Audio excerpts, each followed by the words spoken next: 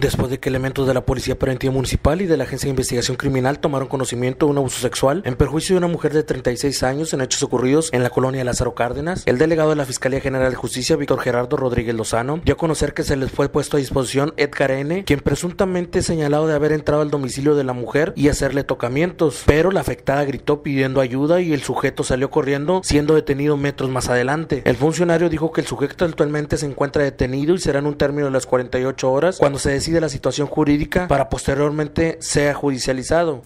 Sí, así es. El día de ayer por la tarde, noche, fue puesto a disposición una persona.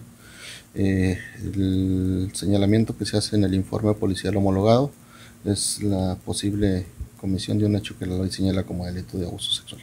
Él atacó a una mujer cuando se trataba de dormir. Eh, bueno, el abuso sexual tiene que ver precisamente con, el abuso como tipo penal tiene que ver precisamente con el hecho de que se realicen eh, actos lúdicos en contra de, alguna persona que pueda ser del sexo masculino o femenino. Le reservamos todavía la información del hecho en particular. ¿Situación jurídica del detenido? Eh, detenido este, por parte de nosotros se hace un control de detención y tenemos el término de 48 horas para resolver su situación jurídica. Para Noticiero Rancherita del Aire, Sergio Hernández.